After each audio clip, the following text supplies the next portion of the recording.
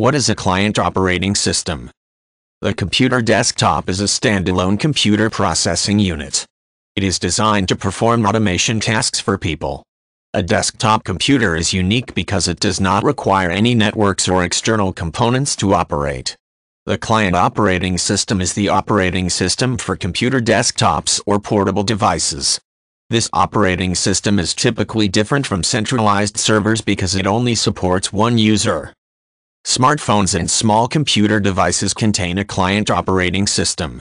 This operating system manages the components of the device, including printers, monitors, and cameras. Each computer typically has a specific operating system. Some computers can use multiple operating systems. This is considered a dual boot configuration. When a computer is built in this manner, it can be configured to run specific devices for each operating system configuration. This provides flexibility for software that is operating system specific.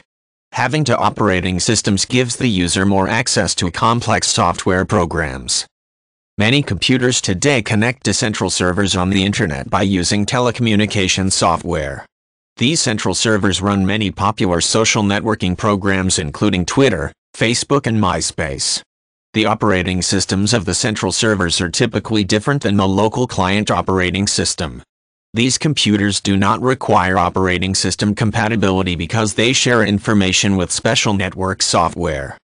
Today there are many forms of operating systems designed for client computers. These include Windows, Linux, Mac and Android.